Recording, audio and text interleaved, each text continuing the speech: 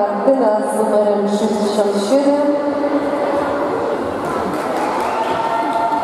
Aleksandra Kosołów i Martyna Vigo.